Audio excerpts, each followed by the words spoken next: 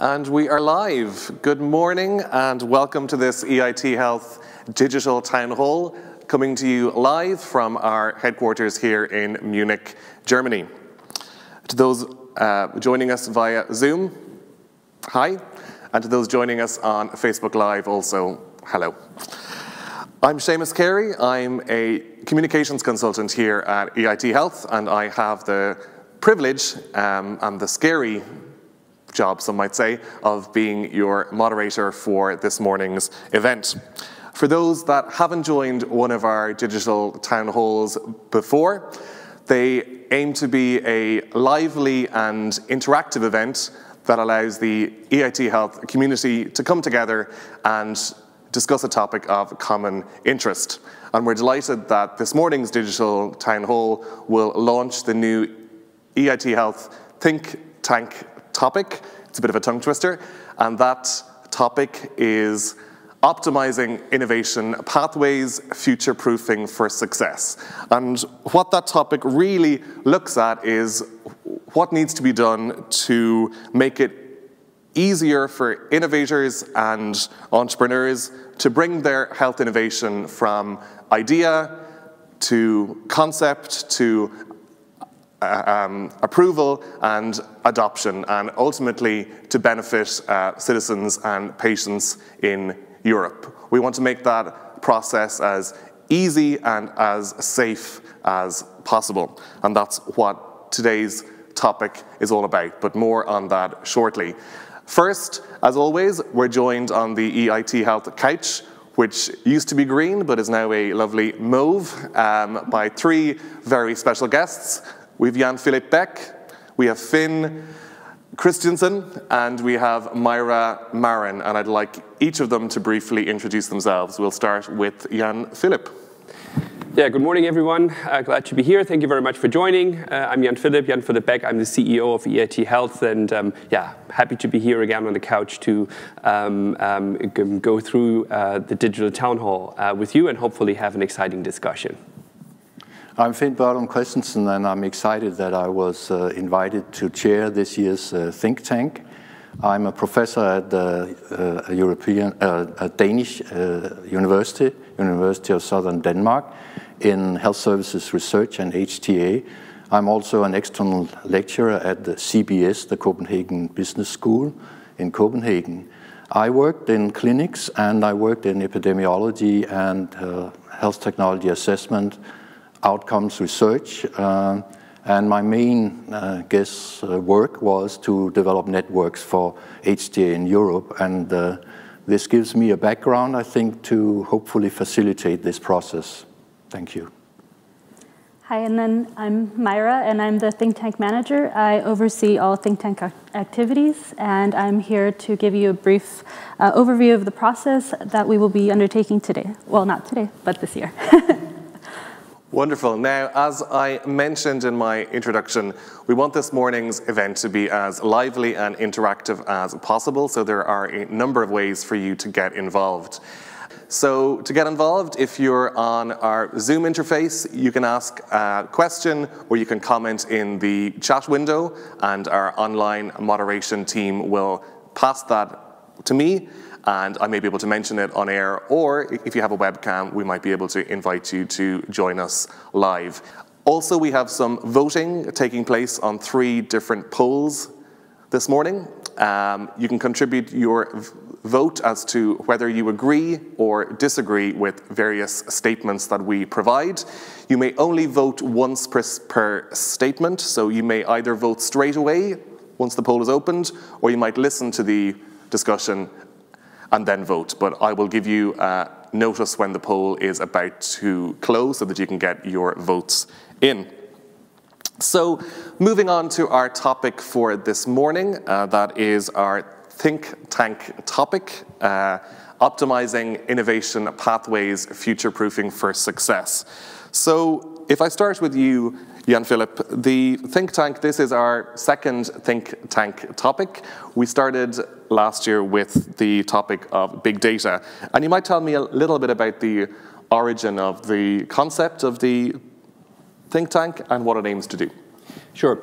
Well, the think tank we, um, we ran for the first time last year, and essentially it comes from the basic idea to say we want to discuss with the community and the stakeholders around us um, barriers to the implementation of good innovation in health.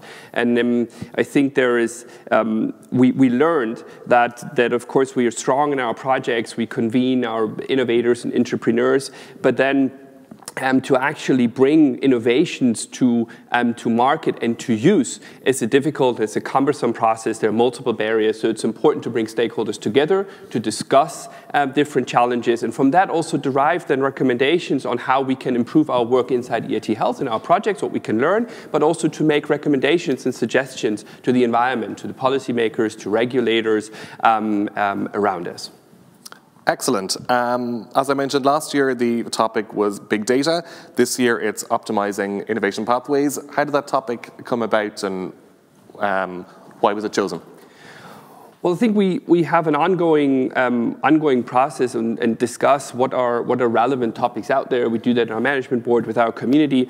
And we came to this topic because I think everyone understands that, of course, it's always incredibly challenging to bring an idea to, to sort of a product to market to use. But I think in health, we all agree that it's particularly challenging because often um, your user is not necessarily your buyer, the buyer is not necessarily your payer, and of course safety considerations are often paramount.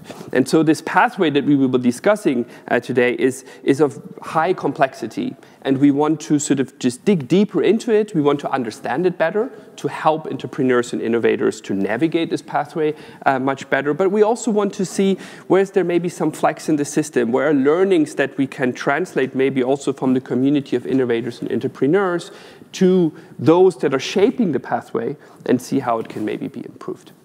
Wonderful. Um, Finn, if I could turn to uh, you and ask a little bit more about why this topic do you think is particularly important and, and, and what your role as, as chair in the think tank will be? Yes, I, will be happy to do that. Uh, first of all, a kind of credo. Uh, you know, the Stone Age did not end because lack of stones. It ended because of innovation, because metals were used for better tools and actually also weapons. And so this is just one example of the importance of innovation. And uh, I'm really always very excited about innovation. That said, I've been also a very critical assessor of different kinds of candidates to be innovation. And so it's not all ideas and all new things that are actually innovations. I think eventually when it is taken up in practice and changing practice, that's when you have an in innovation. And um, that's, part of, that's, that's the kind of approach I will have here.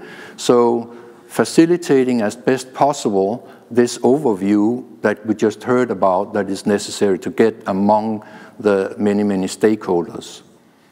Um, it's actually an ecosystem. You need to very early in uh, idea making and in the first phases to think about what are the eventual steps that we need to go through if we really want to see an innovation being taken up. So that's what we're going to address uh, uh, through the think, think, tanks, and you'll hear more about how uh, the, that is set up. Um, as, a, as a chair, I see myself as a facilitator to work with EIT Health to meet uh, its uh, goals uh, also for this process. And I look forward to work hopefully with many of you in the roundtables and in the reporting.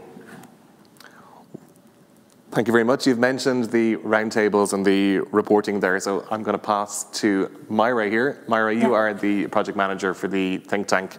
You might tell us a little bit about what your particular role in this process is, and then maybe outline the steps that are going to happen. As we said, we're, we're launching the think tank topic yeah. this morning, but it's only the start of the process. So you, you, might fill us in on what's going to happen next. Yeah. So the think tank really wants to focus on um, promoting or informing needs-driven solutions. So for this reason, we want to um, we will be launching the process with a community survey, which I believe we will be sending a link to all our viewers later this week. Um, and with this, we would like to um, capture the experiences of the viewers and the community at large.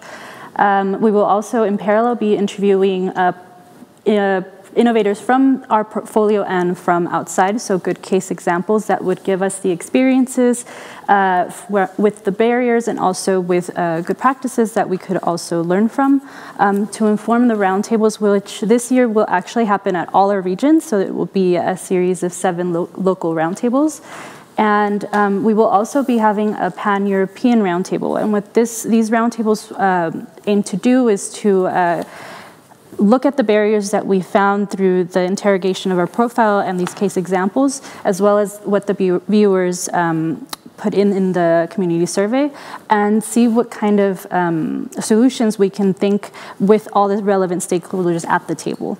So these roundtables will take place over the summer between July and October. And then after that, we will be uh, releasing a report at our annual summit. And this report will summarize all the discussions that we had at the local roundtables and the pan-European roundtable as well. And then um, after that, in early 2020, we expect to have a white paper which would inform the political context because a lot of the barriers that we see uh, does uh, do have to do with the political context. Wonderful. So, as we mentioned, this morning is really only the start of this wonderful think tank process. So, um, Mara will now join our online moderation team. Uh, thanks for being at this part of the discussion. You'll be popping back later if you want to exit via your right hand side. That'd be Thank wonderful. You. Thank you very much. And now we're going to dig a little deeper into the topic that we are discussing this morning, really to see where those uh, challenges and opportunities are. We've heard a little bit about the think tank uh, topic, and we want to explore a little more in detail. So, over the last number of weeks, the think tank team, Finn, Miguel Amador, the researcher who's involved in in this process as well, uh, and Myra have been drawing together as much information as possible that they can find on this really broad uh, topic to get a sense of what the experiences of the community are. And what we found was that very little specific data exists on the challenges. And so this morning we really want to hear from uh, you, the community, and we have some contributors lined up across Europe that will be joining us. So we're joined by four of these, as I've said, who will give their first-hand experiences on navigating their particular pathways, um, or in, in the case of one of them, regulating that particular pathway. So I'd like to start by welcoming Bieke van Gorp from the Netherlands, who is the co-founder and COO of FibriCheck. Bieke, you might briefly introduce yourself and tell us a little bit about FibriCheck. Hello, everyone. Uh, I'm Bieke. I'm one of the co-founders of FibriCheck. Um, at FibriCheck, we developed a software application to detect cardiac arrhythmias, thereby preventing strokes uh, just using a smartphone. Uh, we did pass uh, a lot of the innovation pathway, so we are commercially available today uh, in different business models and have been used by approximately 130,000 people. So there is some adoption at least. Wonderful. Thanks very much. Uh, we're looking forward to hearing from you again during this uh, discussion. Next, we have Martin Steinberg from Sweden. He is the project leader at Stockholm 3. Martin, you might also introduce yourself and tell us a little bit about Stockholm 3. And I'm loving the art on the wall behind you. Okay, thank you. So, uh, Martin Steinberg is my name. We have uh, developed and evaluated and brought to market something called Stockholm 3 which is a, a blood test for uh, prostate cancer. One man in seven in Europe will be diagnosed with prostate cancer in his lifetime. So, prostate cancer is a very common disease. The thing is to find it early. And with the Stockholm 3 test, we roughly find, we double the number of men we find early, and at the same time, we reduce the number of unnecessary treatments by about half. Excellent. Thanks very much for that introduction, and we're looking forward to having you and your input in this morning's discussion as well.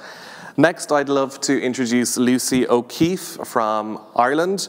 Lucy is the co-founder and CEO at CroíValve. Lucy, you might also like to briefly introduce yourself and tell us a little bit about CroíValve. Sure, thanks very much. Uh, good morning, everyone. My name is Lucy O'Keefe. I'm CEO of CroíValve. We're developing a device to repair one of the valves in your heart without the need for surgery. So in, in heart failure patients, um, the heart stops working correctly and the valves stop working correctly. These patients are typically elderly, over 65, and therefore too ill to go through surgery. Currently, have no treatment option, and so we're developing a device that goes in through the veins and restores the function of the heart. Uh, we're still in a preclinical phase, so we're uh, looking to try and get into clinical trials um, later this year. So still in the development phase of the innovation pathway. Uh, we're a spin out of Trinity College Dublin, where we were supported by, by EIT Health. Excellent. Thanks for that introduction. And last but not least, we have Dr. Falk Ehmann, who is joining us from the Netherlands. Falk is the head of the Innovation Task Force at the European Medicines Agency, EMA. Falk, you might like to briefly introduce yourself and tell us about your particular role at EMA. Thank you very much for inviting me and good morning, everybody.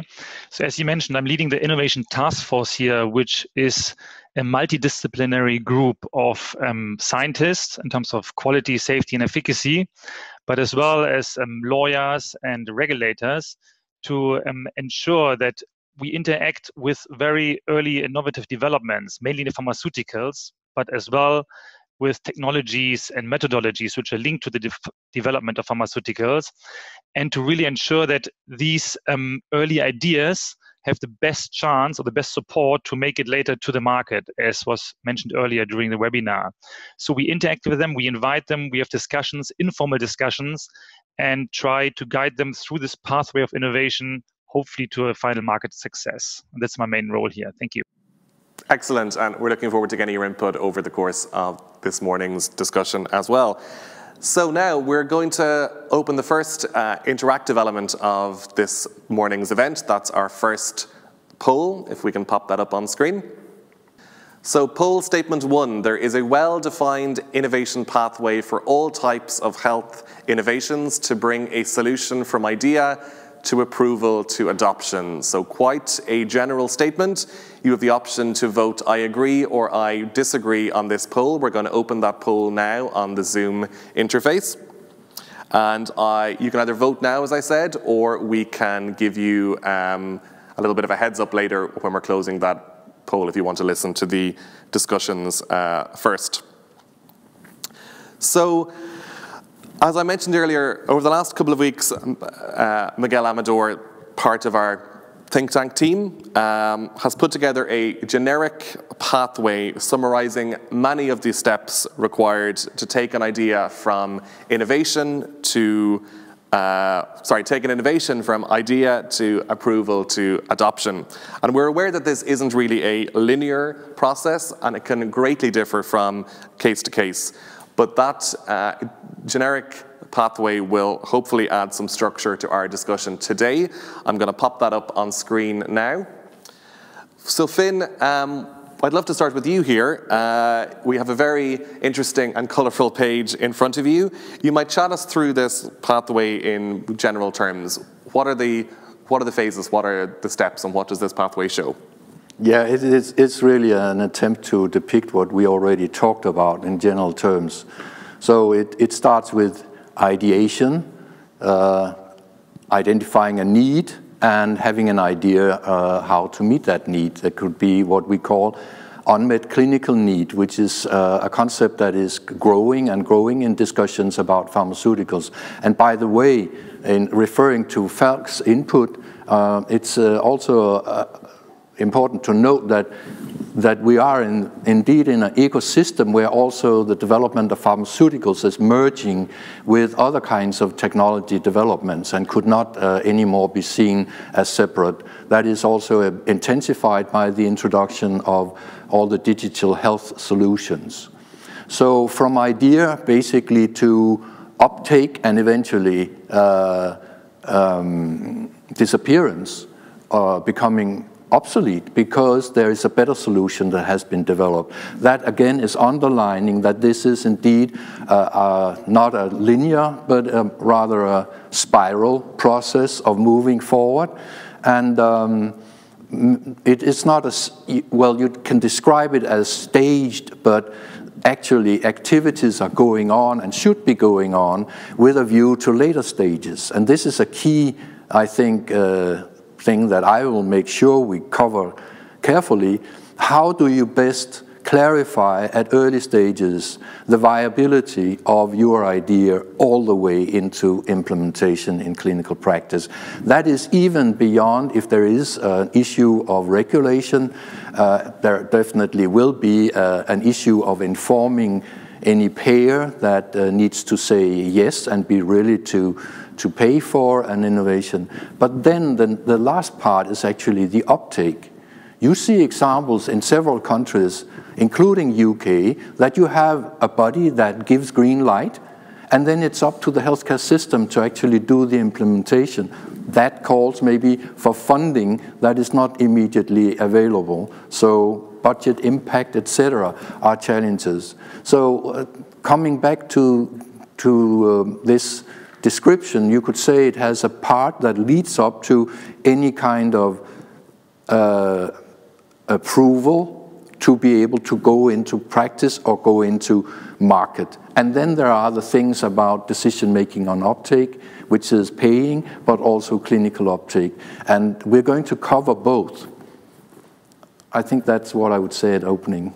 Very good. And then you mentioned there a merging of lots of what used to be distinct categories of medical technology, be that a, a medical device, a digital app, an IVD. Um, is that pathway the same for all of these? And are we looking at any particular category in the think tank, or are we generally looking across them all?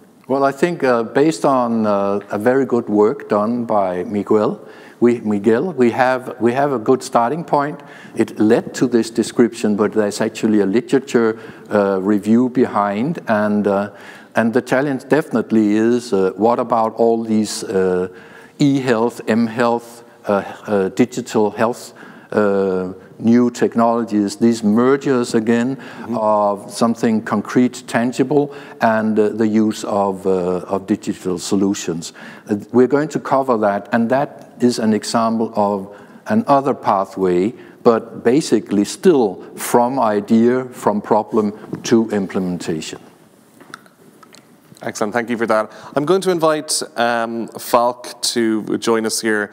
If I can remind people, Falk is the head of Innovation Task Force at um, EMA.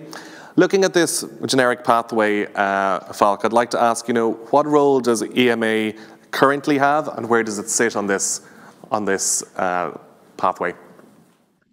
Thank you very much. So first, I'd like to congratulate to the comments which have been made.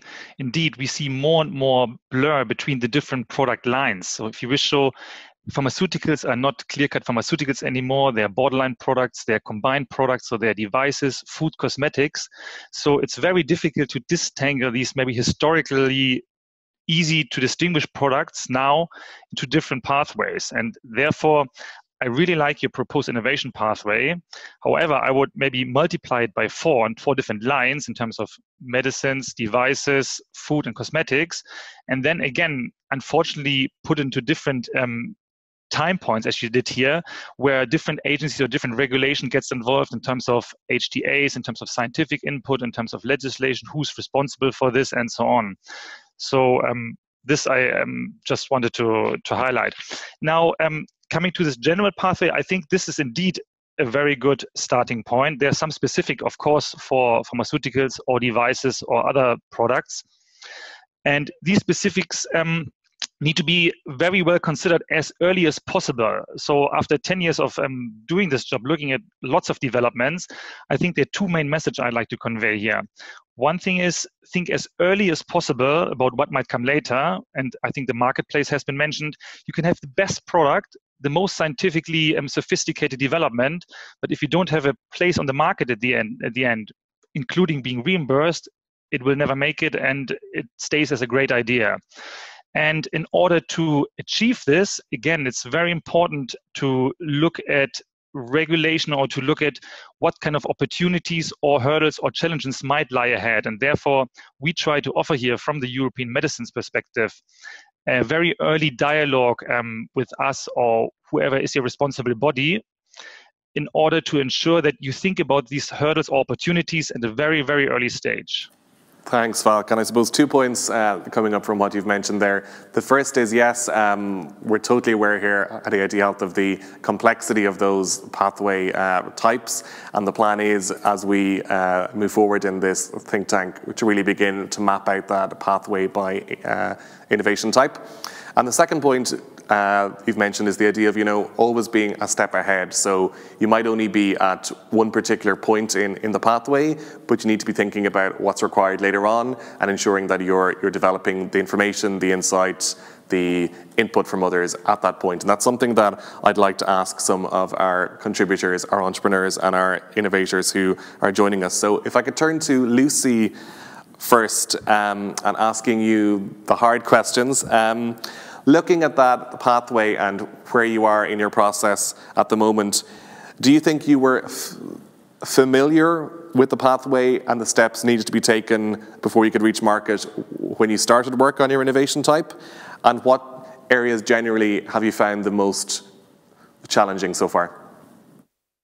Sure. So yeah, I suppose I was lucky enough in terms of my background is has always been in, in developing medical devices, um, and I would have previously worked in a multinational developing cardiovascular medical devices, and actually one of which was a heart valve. So I, I had lots of good experience in terms of in terms of the innovation pathway, and had brought uh, a number of other products through various stages in that. Obviously, medical device pathways are, are very long, so you don't always get to see see all aspects. So I I would say I had a, had a good understanding obviously when um, it's a startup and, and you're having to, to, to, to do everything, you probably need a more in-depth understanding of all aspects than would be the case in a multinational. Um, I would say probably in terms of the development and, and market entering the market phases, I, I probably very detailed experience. I, I, would say probably in the reimbursement, um, I hadn't hadn't hadn't fully lived that before. Um, and and I suppose one of the interesting things that I suppose you you've all mentioned already is the need to kind of really understand the full pathway right from the start. And certainly when you're a startup and you're, you're fundraising and there's significant funding required, um, that's something that your investors expect as well. So having to be able to kind of talk about reimbursement codes before you've you know you, you've um, really finalized your, your design is, is is one of the things that, that, that that's expected. So certainly um, there, there's more in-depth understanding of some elements that I've had to, we've had to work through um, to, to make sure that we, we have a, I suppose, a, a detailed plan for, for taking the device through, through all aspects. That makes perfect sense, and I guess it's like any uh, any innovation or any um, development in any business. It's it's making sure there is a market there at the end. So it, it's great to be developing new technology uh, and new ways of doing things, but is there that market there at the end that, that will either buy it or will will reimburse it? Thanks very much for those uh, comments. If if I could turn to Bieke next, uh, Bieke from FibriCheck. Um, was this the same for you? Did you have an understanding of, of the pathway at the start? Uh, what Lucy mentioned there was it's easier if you're part of a, a multinational that has done this several times with several different products. Um, I'm guessing as, as an entrepreneur in a, a startup, it, it, must be tougher. Um, yeah, yes, actually, it, it, it, might in, indeed be, be as, as you need to look everything up um, yourself. So, so basically, I could say that we were aware of uh, most of the steps of the of the general uh, innovation pathway, but not always into depth. So if you look to the story of uh, of FibriCheck, uh, it started maybe a little bit atypical. So um, we are actually uh, started from a master thesis where uh, the question was raised from a cardiology department in a Belgian hospital how smartphones could help in the timely detection of cardiac arrhythmias. So for us, the ID and the clinical need uh, was there from the beginning, as well as the access to the clinical data, which is very important in the development process. Um, what was for us, without any doubt, the most challenging was getting the certification as a medical device um, and understanding that process, um, as well as adoption. With respect to the certification of a medical device, it was really cumbersome as um, in 2016 at least the, the, the, legislation was really not made for uh, software applications like ours in the preventive space. So we really needed to interpret the regulation, which is quite hard as a startup. You don't have all the uh, experts on board, but on the other hand, it's difficult to raise capital before being certified as a medical device. So it's a bit a circle. Um, and then the second thing we completely underestimated was the impact the medical device regulation has on the development. So making software is completely different than making medical software. And uh, this was uh, clearly underestimated on our side with respect to timing and, uh, and budget. Um, and the second element is, of course, linked to um, adoption. It's, um, it's quite difficult to get reimbursement, uh, certainly in a preventive area like ours. And um, here there is also a complete lacking of, uh, of standardization. Thanks very much for those comments. That's excellent, and we'll we'll return to some of those topics uh, as we dig a little deeper in over the next uh, 30 minutes. So, Martin, turning to you, um, what's your experience in this area, and and did you have knowledge of uh, of the steps you needed to take beforehand, or is this something that you've been figuring out as you uh, as you go along? Uh, well, we started to develop the Stockholm 3 test in 2011. And if you ask me or any of the other founders then, we didn't, did we know about these steps in the innovation pathway? The answer would be no, absolutely not. And in a way, I would, I would, you know, had we known about all the challenges laying ahead of us, we might not even have started this journey of developing the Stockholm 3 test. So you know, sometimes it can actually be good to be a little bit naive. Having said that, we have learned a lot, and now we have a big team working on this, and we have a good knowledge about, I would say, most of these steps. And, and you can see that we're coming out with our second product, which is called OncoWatch Image, which is basically that we have uh, a little bit further downstream in the prostate cancer diagnostic chain when you when you look at the prostate cancer biopsies we have we used AI and deep learning and all that kind of stuff to teach the computer to evaluate prostate cancer biopsies. And we are able, since we know so much more now, to accelerate that process tremendously. So, of course, it's a, of great value to have a lot of knowledge of the different steps here. That's great. Thanks for that, that input. So, um, we're going to close the vote now. So, if anyone hasn't uh, submitted their vote yet, please do so now. And I'm going to turn to Jan-Philipp and ask if you can guess what you think the, the poll results are, are, are going to show. Do you think that the EIT Health community thinks that there is a clear pathway for innovation, or will they, will they say that actually, no, it's all a little complicated and it's quite confusing? Well, my, my guess would be that the, that the turnout will be that it is indeed um, complicated and it's not, um, it's not so clear. And I guess that what we have heard from Martin, from Lucy, and Bieke is that there, I guess that there is an understanding of um, that there is of course, a process and there are steps, but then the devil is indeed in the details.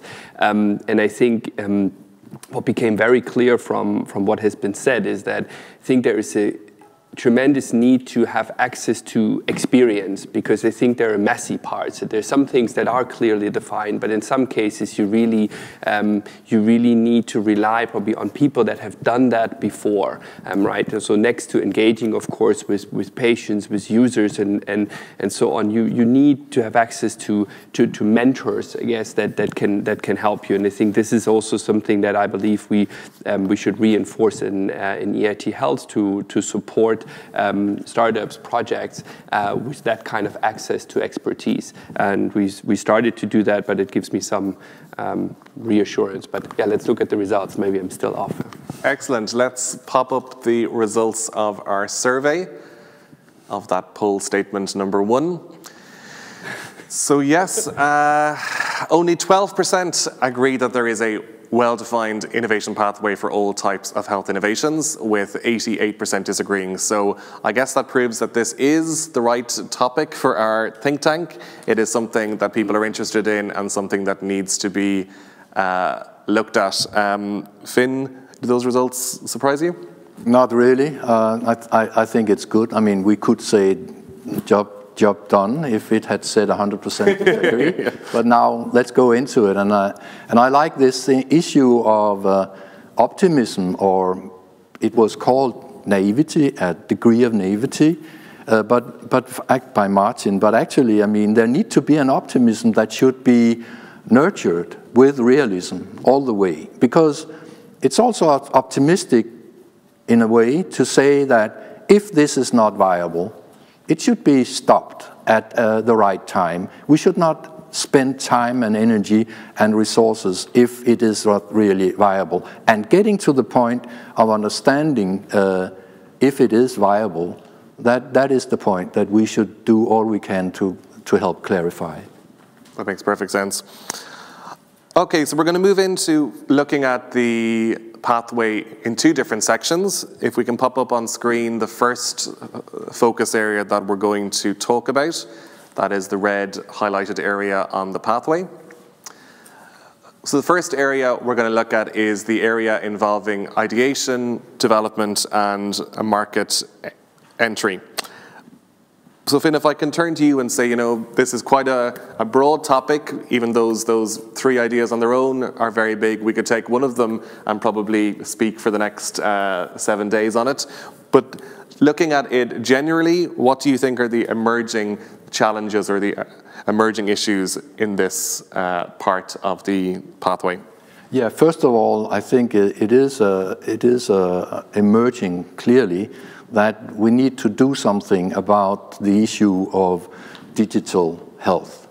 How does it fit into uh, descriptions of a pathway? Uh, how are we making sure that links are made at the right time so that um, innovators in that area are also helped, not going into dead ends or something similar. So that, that's uh, one observation. Okay. I think much of the other things in, in terms of need from clinical research, etc., are clear.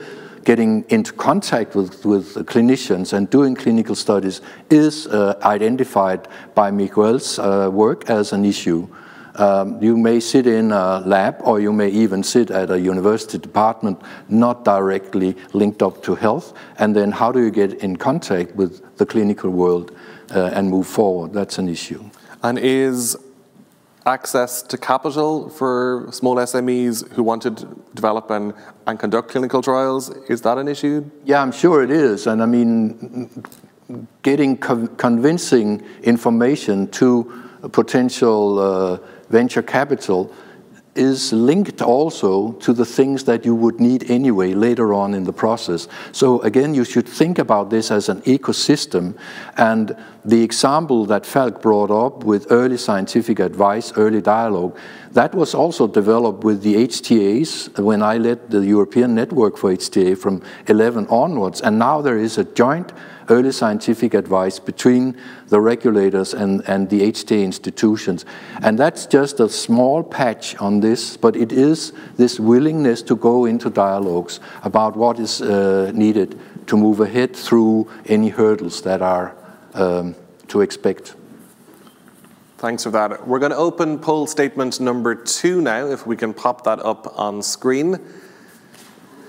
This is one of the ideas that, that Finn hasn't mentioned here, but, but kind of uh, comes up in this section of the, of the pathway. Um, we need a more joined up Europe wide approach to standardized pathways and requirements for approval and adoption of innovation. So, at the moment, we have various national bodies, we have various different systems.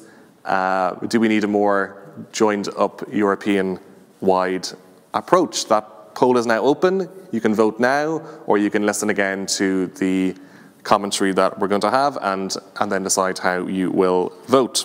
So I'm going to start with uh, Bieke here. Um, would you agree with, with Finn's views on the challenges in this area?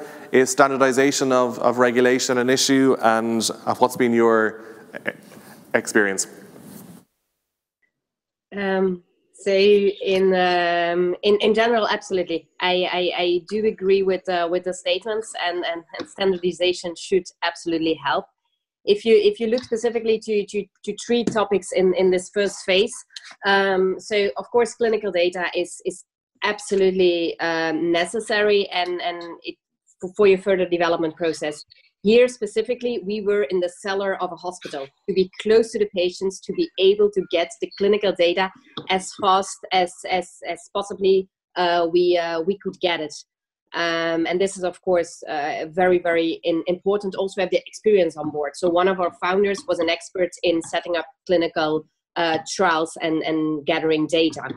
Um, with respect to the early user input, I also absolutely agree, but I do need to see here say that we have quite some complexities. So it was absolutely not difficult to get people enthusiastic about our ID, to get input uh, from uh, from different clinicians. But um, we saw that once developed and implemented, is it still stuck basically on the on the reimbursement setting. So it is fairly difficult to to to get uh, user inputs and and value them correctly also towards the uh, adoption pathways. Um, the third element with respect to regulatory, of course, I mean that's that's that's clearly a fact. I mean there is a, a European uh, medical device directive, uh, which is difficult sometimes for digital health applications to find um, the way. But that said, uh, once you have your certification, I mean it's still not done. It, it doesn't mean you can start in in each uh, in each country. There is still um, specific legislation in uh, in each country. Sometimes just administrative legislation. Sometimes with respect to to data storage, which makes it um, very very cumbersome and difficult to to truly scale. Um, and also, it's difficult to find the specific legislations for each country. I mean, I never found a consolidated sheet that told me what I should do in in in which country. Um, so yes, we would be a big fan of standardization. Thanks very much for that input. If I go to Martin uh, Steinberg from Stockholm 3, Martin, have you found the same issues that we, as we've raised here? Was access to clinical trials an issue for you? First, yeah, well, uh, not really. I mean, we decided, I mean, there always this issue about if you want to launch something, you need to start with is there really a user interest? Will they be able to pay? Are they going to be interested in paying and so on and so forth? So and and will you be able to attract? Is this attractive enough for for big for big companies also to be involved? Um, and and at the same time, you have the problem with funding uh, an early uh, venture. So what we decided already from the beginning was to um, uh, to work very closely with, with healthcare providers, in our case, the Stockholm County Council, who is also a payer, and with, uh, with a large industry company, Thermo Fisher. So, and that has been very, very beneficial because by working with the Stockholm County Council, first of all, they said, yes, this is very interesting. If you have this product, we are probably going to be able to pay for it. Then what they also did was to give us access to patients and in the end they paid for for the study so we got a lot of financing uh, if you add what we got in cash and in, in kind, it's probably about 30 million euros. It's, it's costly to run big trials. We did a trial with 60,000 men. Now, the other thing we did was okay, so should we develop our technology platform ourselves and find money for that, or should we do that with a partner? And we decided to do that with Thermo Fisher, and that has also been very good because, first of all, they had the technology, they only needed to tweak. Now, they only needed to tweak it. It has probably cost them about 10 million euros, and it's taken a couple of years. But it's still, you know, finance-wise, eh, you know, we couldn't have done it, and and we have they have that has accelerated the process too. So I think from us, our standpoint, the key has been to work between uh, entrepreneurs, big pharma, academia, and care providers. Thanks for that. So I guess what you're saying there is, you know, really being uh, cognizant of what happens at the end in terms of adoption and making sure that you have those partners built in along the way to ensure that when you have it finally developed, that there is a market there ready for it. So that's great. Yeah, both that and and the case that you actually need financing during the way. I mean, you, it's it can be very costly. Martin, so if I turn to uh, Jan-Philipp here, um, one of the issues that we have heard about there and the poll statement that's up is the idea of um, standardization of, of uh, regulation. Do you think this is an issue, and what's EIT Health's view on it? Yeah, so I think maybe taking a little bit of a, of a, of a, of a market perspective here, I think it's kind of logical and has, it has driven a lot of um, European legislation from an internal market perspective. For example, say, well, of course it makes sense if you want to create um, is uh, if you want to create a strong single market, also from a competition, a global competition point of view, of course it makes sense to push forward on, on, on, standardization or a degree of harmonization of legislation. It certainly makes sense, and I think it also resonates with what, what, what has been said here. Um, of course, um, and, and maybe to add to that, I think it might, something like this can of course also help smaller member states. Let's not forget that in, in the EU, um, we have very, very um, different different capabilities maybe, and I think also smaller, you need capacity to put things like this in place, so smaller countries might even benefit from something like that. But of course, this is a very um, political um, question um, um, in the end, and I think um, it, it, it, might not be sort of so close at hand to get there. So I think uh, what is key is that indeed, as Finn said, uh, we resolve issues around assessing digital technologies, and we probably need to, need to work further towards a better alignment of the different national assessment bodies, uh, try to also eliminate maybe things what Bieke mentioned, like sort of hiccups in administrative implementation implementation, in regulation implementation. So I think maybe there are things that can be done even if we cannot achieve a full uh, standardization or harmonization um, in the near future. Okay, so we want to get there, but it's not going to be a straightforward process, is what you're saying, I guess. A bit more also my own opinion maybe than um, than an official EIT health yeah. um, um, statement, but uh, I think I think from a from a market perspective, indeed, it, it, it certainly does make sense. Okay.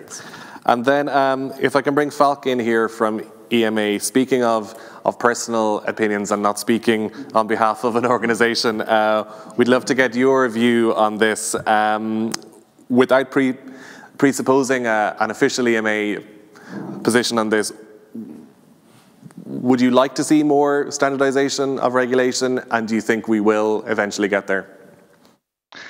So thank you very much. It's a, it's a very difficult and complex question. Um, I feel a bit like in Dragon's Den with so many startups here, but it's it's very refreshing um, conversation. So I think society via the arm of regulators maybe have to be enablers for innovation for new products reaching the market economically um, as well as um, for the patient's perspective. But as well, you have to gatekeep um, certain certain safety issues, and um, there's a very very thin line in terms of regulation, um, tipping one side or the other. You can overregulate things, you can prevent innovation. And I like very much um, what Martin stated before that um, sometimes a bit of naivety helps you to put forward because if you see the mountain being too high, maybe you will never go that way. Um, nevertheless, um, most um, of the of the especially small um, developers or academic spin-offs and so on, they need clarity and certainty. I think at least to a certain extent on a very early stage. So there, there are two criteria, I think, which are of utmost importance. One thing is we're talking about really different areas here, which are now merging i.e., pharmaceuticals, devices, food, and cosmetics. And where pharmaceuticals are currently quite very centralized um, regulated. Devices are not at all so and um, there are new regulations popping up which tend to go in this direction. But i think for me this multi-layered approach with these more complex products um, digital therapeutics and so on um, makes makes the whole thing really more challenging. And the next criteria I'd like to highlight is that there are different stakeholders, and you treat indeed spin-offs from um, universities or small medium-sized enterprises completely different than um, pharma giants with um, multi-trillion um, dollar uh, turnovers. So there i think we have to really ensure that we provide the right support and the right regulation for the right developers enabling the ideas to be fruitful but as well giving the right certainty um, to allow economic growth so, come, sorry, coming to my personal opinion, a little bit more centralized regulation, that's very personal now, in terms of devices, I think would be beneficial. Thank you. That's great. Thanks for that, and thanks for being honest in your opinion. That's great to hear. Um, Lucy, if I can bring you in here in our, our preparations for this morning's event, you had some thoughts around the new uh, MDR the medical device regulation. Can you briefly tell us what's happening there and what your, your thoughts on it are? Sure, yeah. So just just to make sure everyone's on the same page, there's a there's a new medical device regulation coming in. Um, it's brought into force uh, in May next year, so it's kind of 12 months away from being brought into force. And and its intent is probably you know very valuable in terms of improving some of quality issues that we're seeing with medical devices in Europe.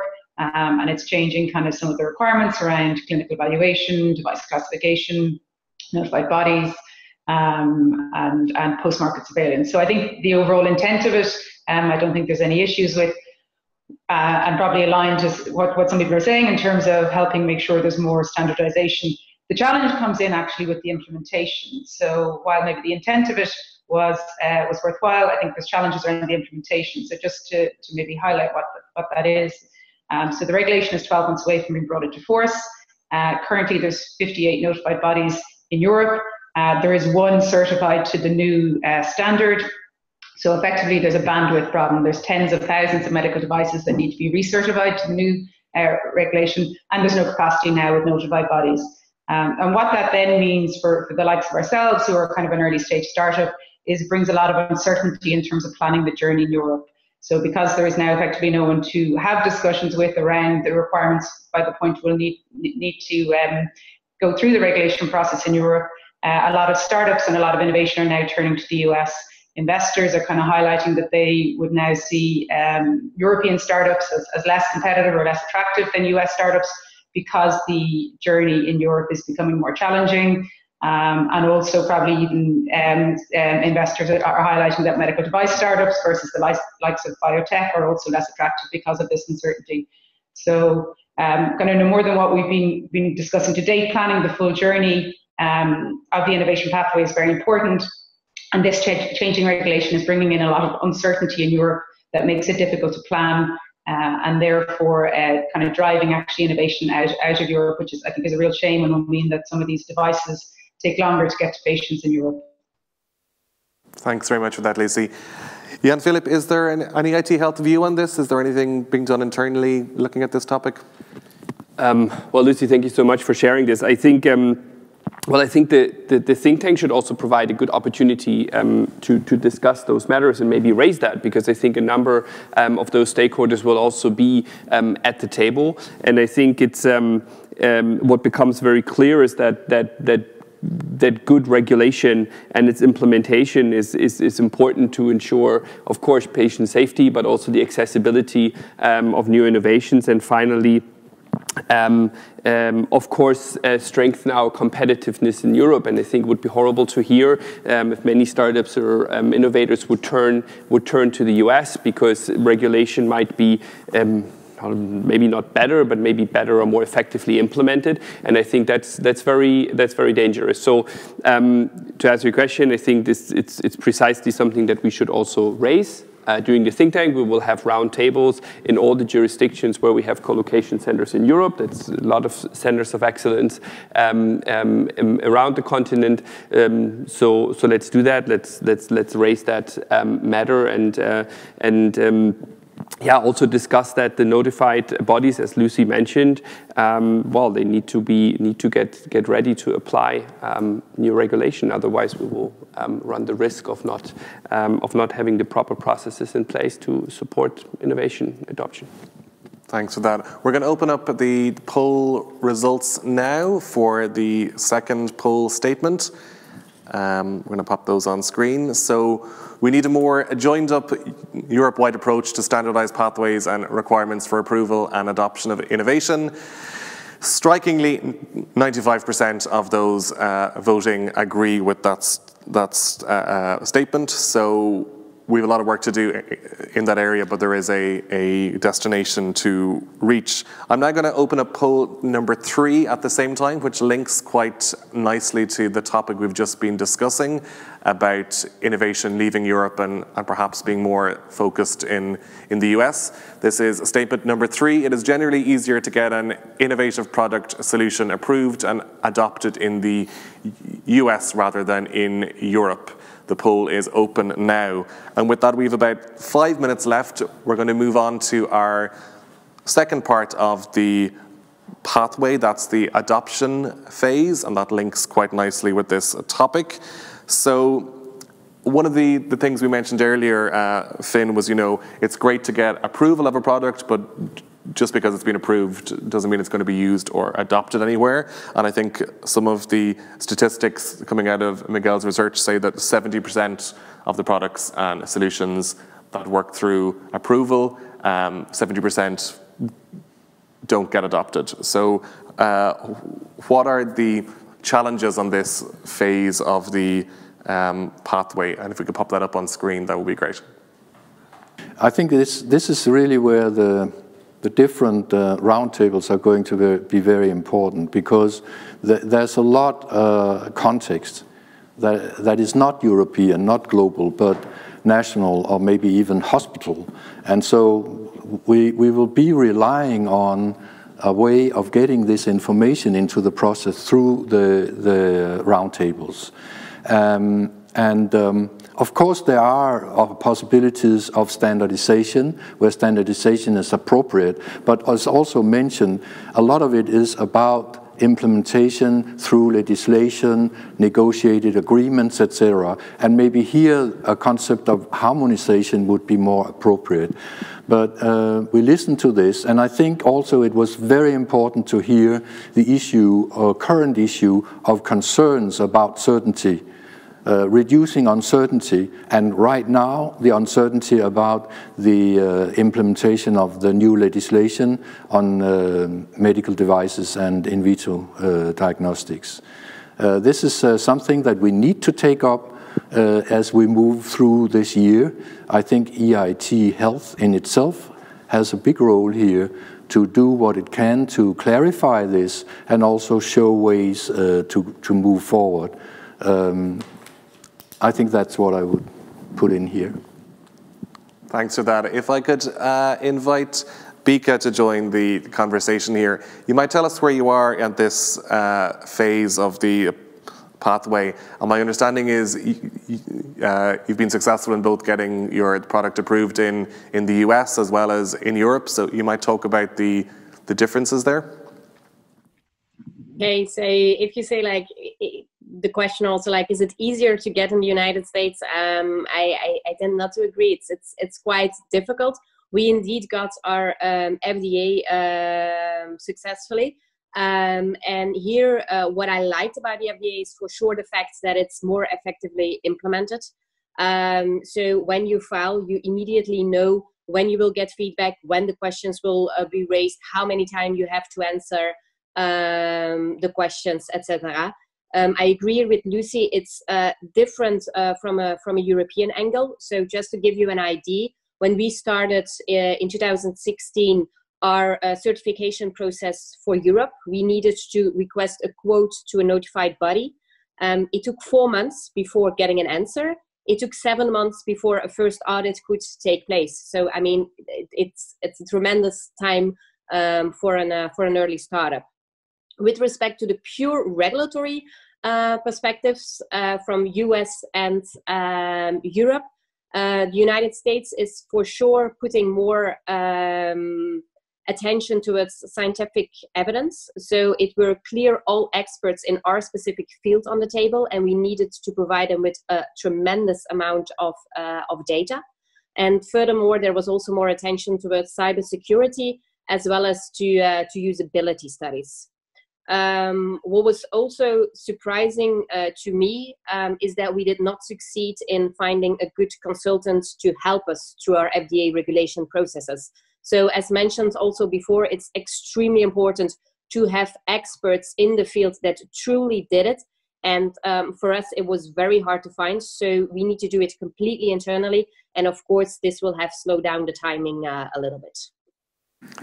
Thanks very much for that, Bieke. Um, I'm conscious of time. We've almost just run out of time. I'd love to go back to Lucy and Martin and get their experiences there, but unfortunately, we just don't have time for that. So I'd like to pop up um, the results of poll statement three, if that's possible. That was our statement on the is it easier in the US compared to Europe. If we have those results, that would be great. Um, while we're getting those, I might go to Jan-Philipp and just ask for your thoughts here. Maybe also trying to trying to provide some reflection on um, um, what has been said and also how we translate that in, in, in, in how we go forward in the think tank.